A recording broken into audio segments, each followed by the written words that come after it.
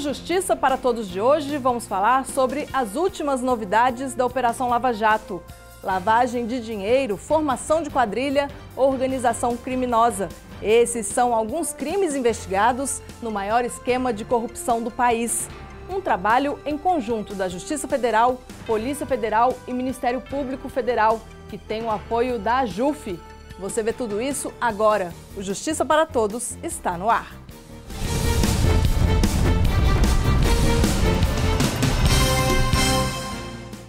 Vamos começar o programa com um resumo das notícias que movimentaram a semana da Justiça Federal.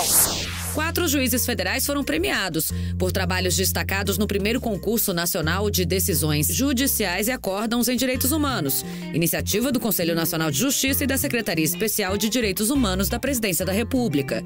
O presidente da Associação dos Juízes Federais do Brasil, Roberto Veloso, participou da cerimônia. Os temas foram relacionados aos direitos da mulher, da população LGBTT, dos direitos dos povos e comunidades tradicionais, além do combate e erradicação ao trabalho escravo. Outro reconhecimento reconhecimento dos trabalhos da Justiça Federal foi o Prêmio Conciliária Legal, também promovido pelo CNJ. A AJUF esteve presente na cerimônia que premiou quatro magistrados federais. O diretor de Tecnologia da Informação da AJUF, o juiz federal Marcelo Lely Jaguiar, da Terceira Região, ganhou menção honrosa pelo trabalho desenvolvido na ação de desapropriação em área quilombola de São Paulo. Uma investigação que mudou o dia a dia de cada brasileiro e trouxe a esperança de um país mais honesto.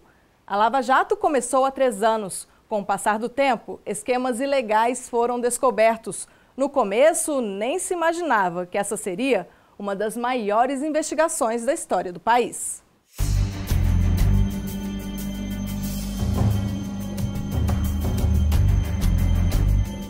É caso para Lava Jato, lava céu, lava terra, lava tudo. Um posto de gasolina.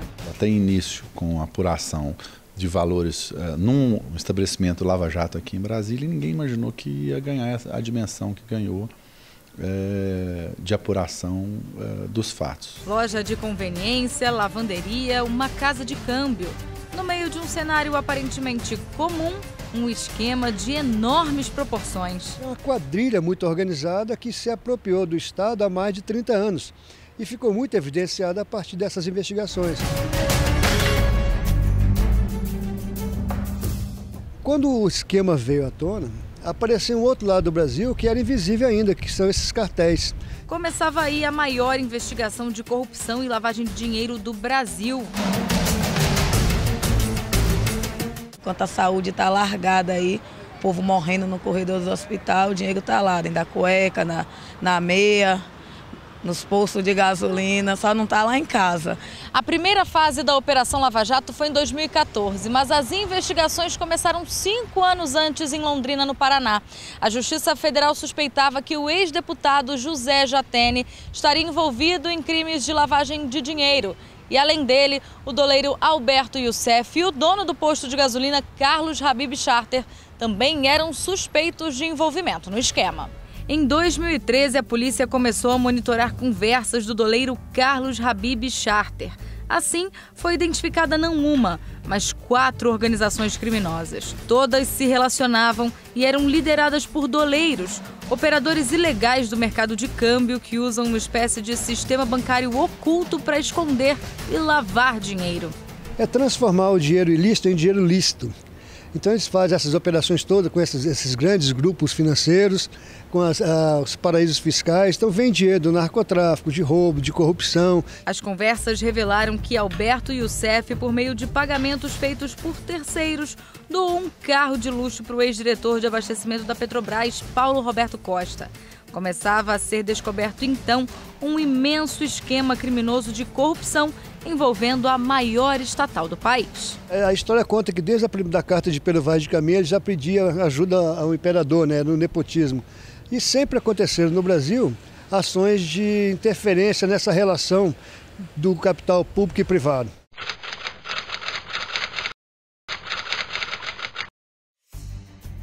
Foram cumpridos 81 mandados de busca e apreensão, 18 de prisão preventiva, 10 mandados de prisão temporária e 19 de condução coercitiva.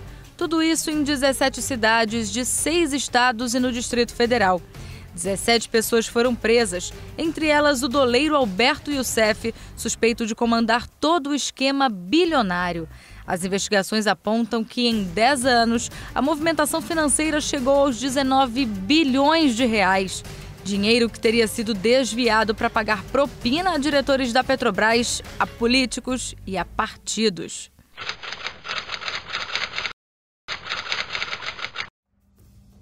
Três dias depois, a Polícia Federal cumpria mais seis mandados de busca e um de prisão temporária no Rio de Janeiro. O alvo era o ex-diretor de abastecimento da Petrobras, Paulo Roberto Costa, que foi preso. Investigado pela compra da refinaria de Passadina, nos Estados Unidos. A prisão preventiva ela é decretada para garantir a instrução criminal. Uma das hipóteses é a garantia da instrução criminal. Porque muitas das vezes, principalmente os réus que possuem poder, eles têm uma facilidade muito grande de destruir provas. Fase após fase, mais prisões, como a do ex-diretor de serviços da Petrobras, Renato Duque, suspeito de pagar propina para fechar contratos com a estatal. A polícia também chegou ao ex-diretor da área internacional da Petrobras, Nestor Cerveró, e ao tesoureiro do PT, João Vacari Neto. O juiz decreta a prisão justamente para preservar essas provas, destruir os contratos, apagar ligações de celulares, apagar conteúdo de internet. Grandes empreiteiras também estavam na mira. Mandados de busca e apreensão foram cumpridos nas empresas suspeitas de participação no esquema. Os presidentes da Odebrecht e da Andrade Gutierrez foram presos. Quantos não fogem para o estrangeiro? Então o juiz decreta a prisão para que a pessoa também não fuja. Muitos têm dupla nacionalidade, ou seja, tem passaporte brasileiro, mas também tem passaporte europeu. Se ele chegar no país no qual ele tem a nacionalidade na Europa, o país não pode extraditar. Ou então o país não tem acordo de extradição com o Brasil.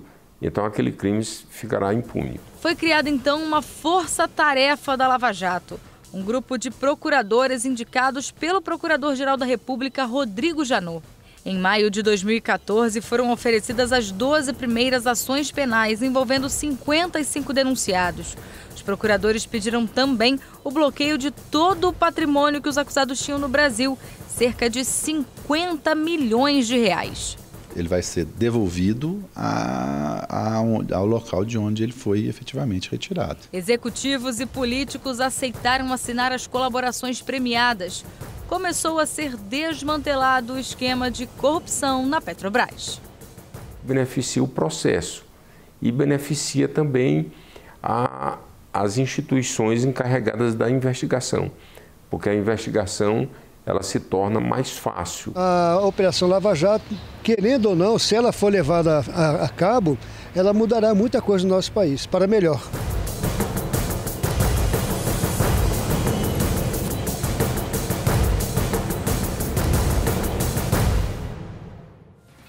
No próximo bloco, a importância das colaborações premiadas e da força-tarefa no combate à corrupção.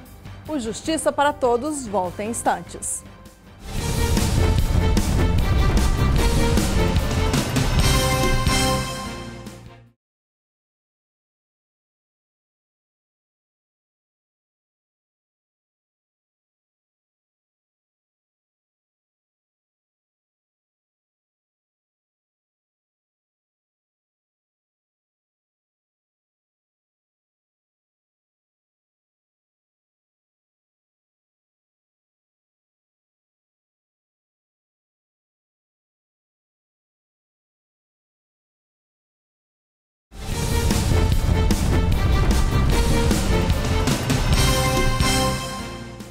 Punição para os culpados diante de crimes que afetam cada cidadão brasileiro. As colaborações premiadas são essenciais para que isso aconteça. Nomes suspeitos acabam aparecendo, um ponto de partida importante para o sucesso da Operação Lava Jato. 55 nomes.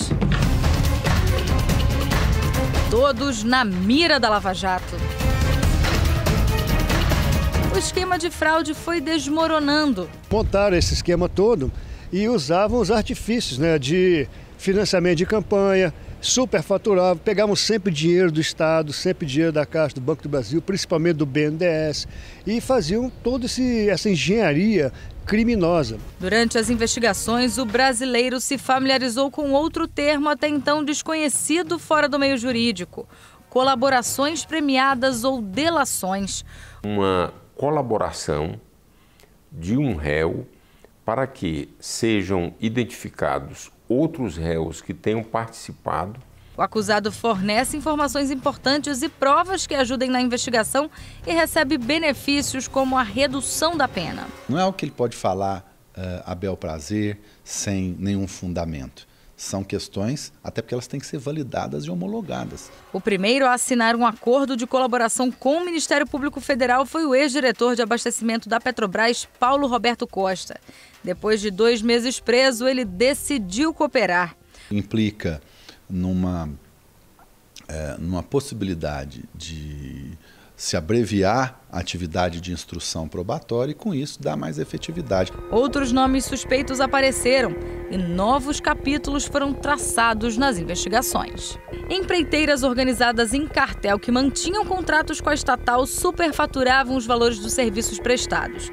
Para isso, faziam contratos aditivos Segundo a denúncia, uma parte do dinheiro ia para o pagamento de propina a diretores da Petrobras e também abastecia o caixa de partidos políticos. É dinheiro apropriado do Estado por meio de superfaturamento, dinheiro público, que é repassado para campanhas. Mas, na verdade, não se gasta só em campanhas, não. É para enriquecer determinadas quadrilhas também. Muito dinheiro está saindo do bolso cidadão. E o pior é que reflete na saúde, na educação.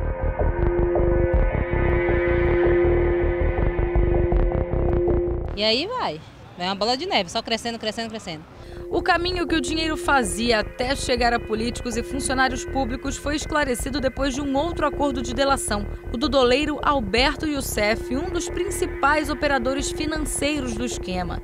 Ele apontou o envolvimento do ex-presidente da Câmara dos Deputados Eduardo Cunha, preso em setembro de 2016. Outra delação importante foi assinada por Delcídio Amaral. O ex-senador foi citado no depoimento de Nestor Cerveró, ex-diretor internacional da Petrobras. A prisão do até então político foi embasada por uma gravação apresentada pelo filho de Cerveró. Segundo a Procuradoria, o ex-senador teria oferecido 50 mil reais por mês para a família de Cerveró e até um plano de fuga ao ex-diretor da Petrobras para evitar o acordo de delação. Mas depois da prisão, as acusações vieram à tona.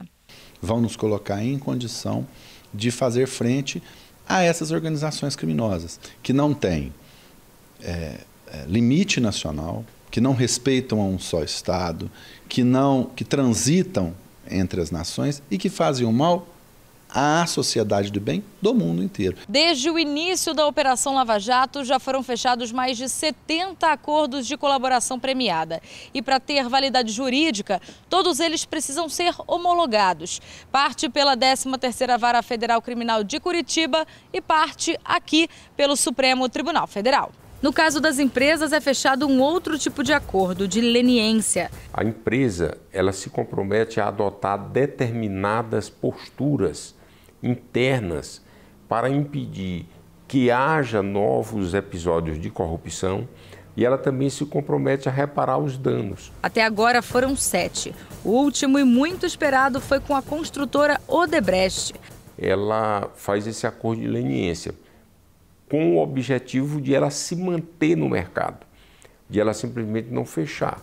Ao mesmo tempo, 77 executivos e ex-empresários do grupo também assinaram acordos de colaboração com o Ministério Público. Eles apresentaram nomes de quase 200 políticos envolvidos no esquema. O preço para a sociedade brasileira é altíssimo, porque cada vez mais se cobra mais impostos e se presta piores serviços à sociedade brasileira. A assinatura dessa delação gerou tensão entre a classe política e ainda são esperados outros desdobramentos. Toda essa dinheirama que é desviada poderia ser aplicada em educação de boa qualidade, transporte, segurança, saúde. E o que a população espera é que eles sejam positivos para o país dinheiro desviado de volta aos cofres públicos e corruptos na cadeia. Eu acho que quem tem que ser punido tem que ser preso, né? Que rouba, rouba, rouba e o pobre mais pobre.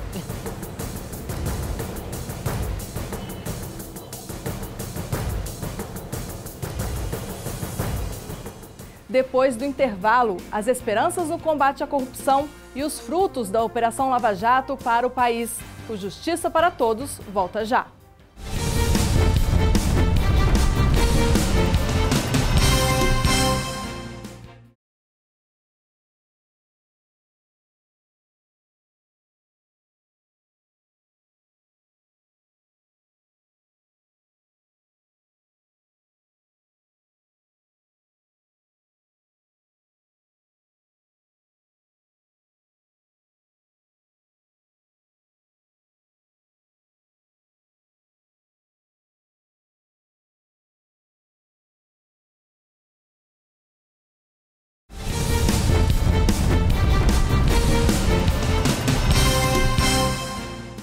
Mais de 70 acordos de colaboração, cerca de 200 prisões em flagrante, temporárias ou preventivas. Os números da Operação Lava Jato mostram o tamanho da investigação e a vontade que todo brasileiro tem acabar de vez com a corrupção.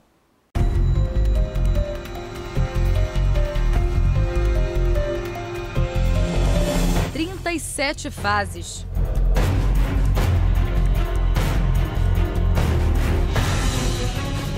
Nomes do grande escalão da política. Só a super planilha da Odebrecht revelou pagamentos que teriam sido feitos a 279 parlamentares ligados a 24 partidos, indicando possível Caixa 2. As planilhas foram encontradas durante a 23ª fase da Operação Lava Jato em fevereiro do ano passado. Nessa fase, os principais alvos eram o marqueteiro do PT, João Santana, e a mulher dele, Mônica Moura. Um ano depois da prisão do casal, veio a condenação. Oito anos e quatro meses de reclusão pelo crime de lavagem de dinheiro. A decisão do juiz Sérgio Moro saiu no último dia 2 de fevereiro. Além deles, foram condenados Ziwis Kornick, operador do esquema, João Vacari Neto, ex-tesoureiro do PT, João Carlos de Medeiros Ferraz, ex-diretor da empresa Sete Brasil, e Eduardo Costa Vaz, ex-gerente da Petrobras. Eles se juntam a uma lista de dezenas de condenados por crimes de lavagem de dinheiro, corrupção passiva, organização criminosa, entre outros.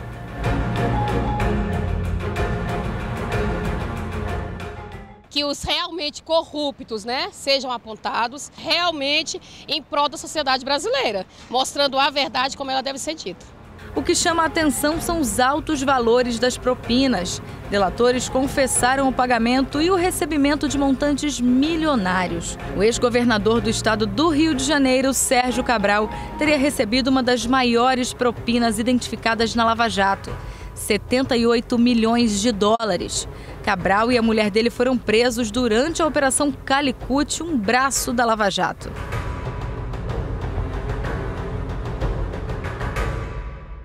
O ex-governador é suspeito de receber propina em troca de concessão de obras, como a reforma do Maracanã para a Copa de 2014. Há evidências ainda, segundo o Ministério Público Federal, de que Cabral recebeu pelo menos 2 milhões e 700 mil reais em dinheiro da Andrade Gutierrez por contrato em obras do complexo petroquímico do Rio de Janeiro. Cabral e a mulher seguem presos em Bangu 8, na capital do estado. E não parou por aí. A suspeita é de que parte desse valor teria vindo do empresário Ike Batista, uma propina de 16 milhões e meio de dólares, cerca de 52 milhões de reais, por meio de uma conta no exterior com nome de terceiros. Por três dias, Ike foi considerado foragido da justiça. Ele estava em Nova York e foi preso ao desembarcar no Aeroporto Internacional do Galeão, no Rio. Por não ter curso superior, o empresário já considerado um dos mais ricos do mundo segue detido em Bangu 9 e divide a cela com outros envolvidos no escândalo da Petrobras.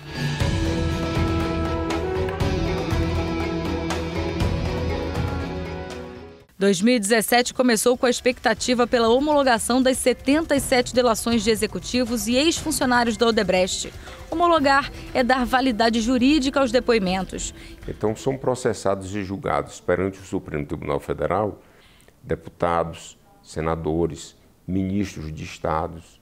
Se na delação que é realizada houver a participação de alguma dessas pessoas, quem homologa é o Supremo Tribunal Federal. Se não houver, ou seja, se não houver ninguém com foro privilegiado envolvido, é o juiz de primeiro grau. O responsável era o então relator do caso, o ministro Teori Zavascki.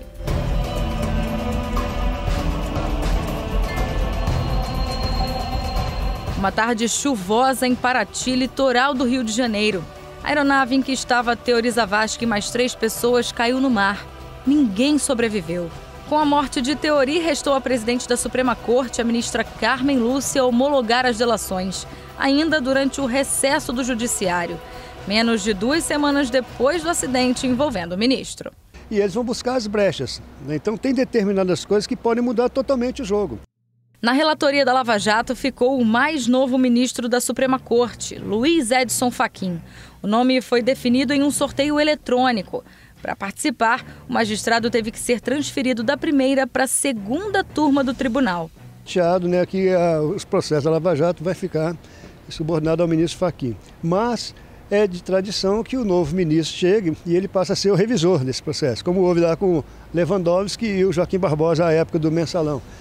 Perto de completar três anos, os números impressionam, assim como as cifras desviadas. Em primeiro grau, já foram 1.434 procedimentos instaurados, 79 prisões preventivas, 103 temporárias e 6 em flagrante. Litam também uma mudança de atitude, não só do, do, da pessoa natural, do sujeito responsável, mas de corporações, de empresas. 71 acordos de colaboração premiada foram fechados com pessoas físicas e 7 acordos de leniência. O valor total de pedido de ressarcimento é de 38 bilhões de reais, já incluindo as multas. Diminuir ah, o desejo, a vontade daqueles que querem fazer o mal feito de o fazer, por temor da efetividade da jurisdição penal. Já no Supremo Tribunal Federal foram instaurados 81 inquéritos com 364 investigados, entre pessoas físicas e também jurídicas. 15 denúncias em 18 inquéritos com 48 acusados nas três ações penais. Nós temos que favorecer a nossa legislação a enfrentar essas organizações que estão cada dia mais eh, apuradas, mais aperfeiçoadas. Mais de 100 acordos de colaboração já foram homologados pela Suprema Corte. Até o último levantamento feito pelo Ministério Público Federal em 19 de dezembro de 2016, eram 120 condenações. Se somadas, as penas aplicadas já superam os mil anos. Quem produz a legislação e quem aplica a legislação tem que também evoluir no sentido de dar o combate efetivo essas medidas proporcional à capacidade de operação dessas organizações criminosas. Os números revelam não só o tamanho da corrupção, mas a vontade de provocar mudanças no país. Pelo menos diante de tantas revelações, essa é a esperança de cada cidadão.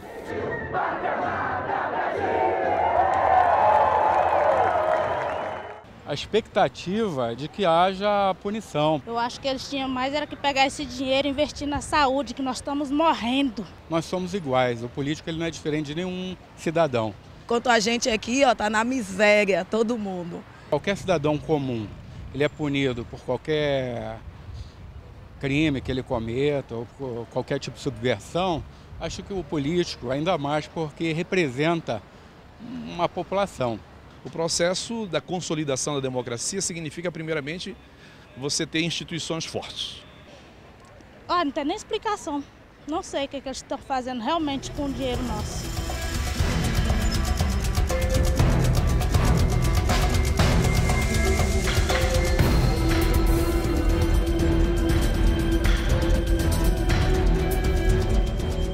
E o Justiça para Todos de hoje termina aqui. Participe do programa, envie sua sugestão para imprensa.juf.org.br. Você também pode assistir ao programa pela internet, na página da JUF ou no canal da associação no endereço youtube.com.br. Obrigada pela sua companhia.